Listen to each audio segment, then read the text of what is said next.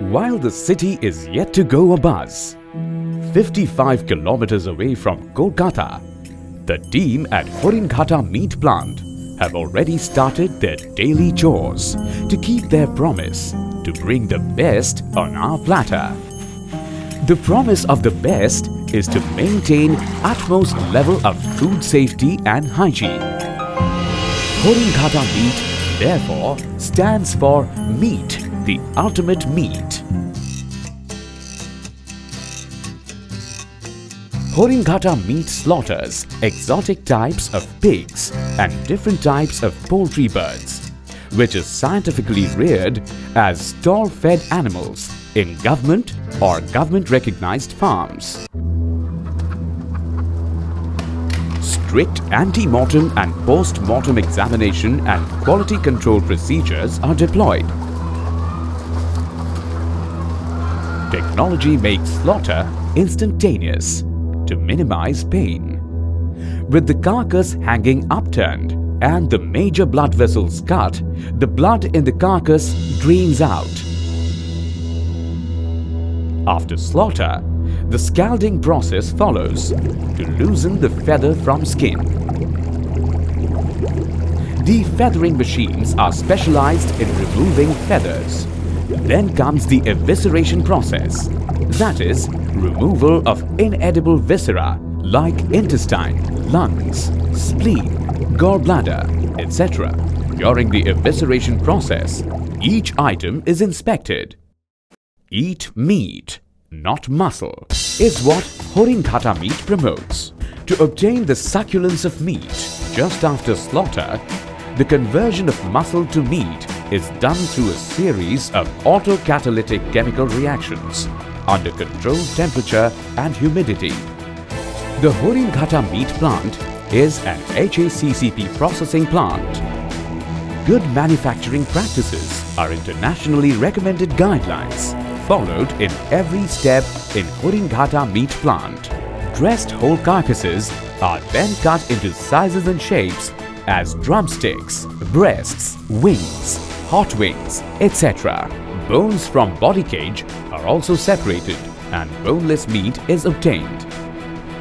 Circulatory cleaning in place systems are adopted to achieve best of cleaning and sanitation results.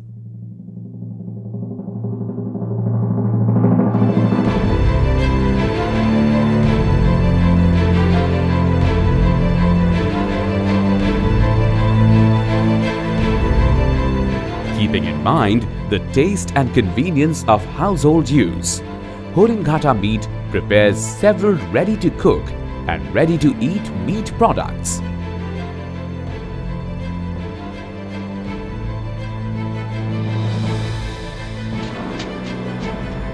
No added preservatives, flavoring agent or other chemicals are used in Haringhata meat products.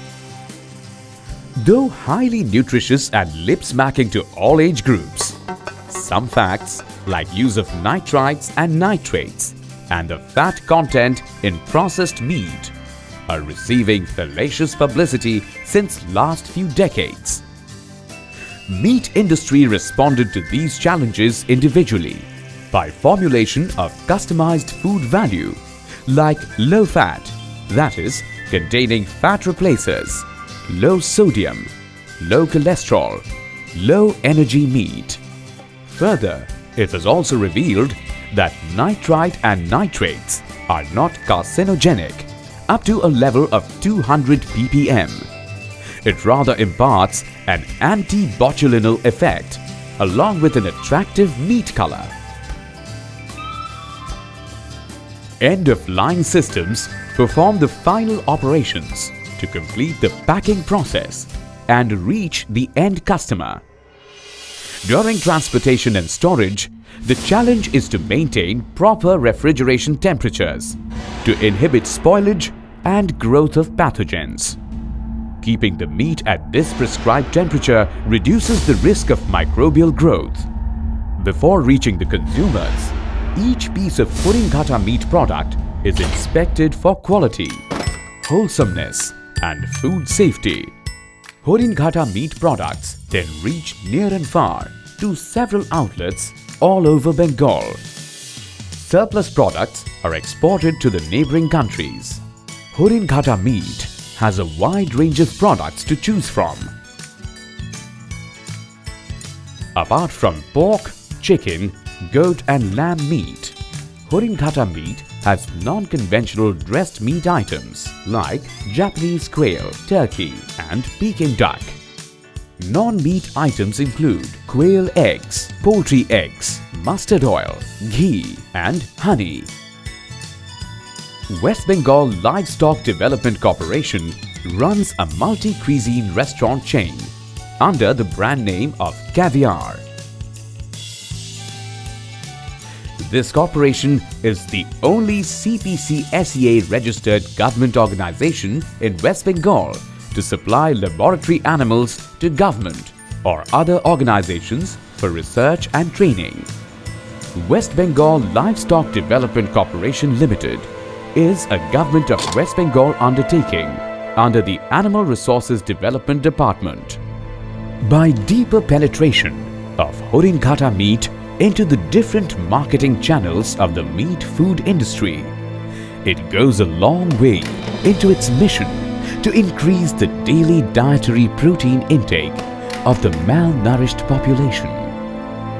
Building up the sustainable livelihood framework by encouraging entrepreneurship, implementation of centrally and state government sponsored schemes and other methods of employment generation has been a constant endeavor of West Bengal Livestock Development Corporation Limited.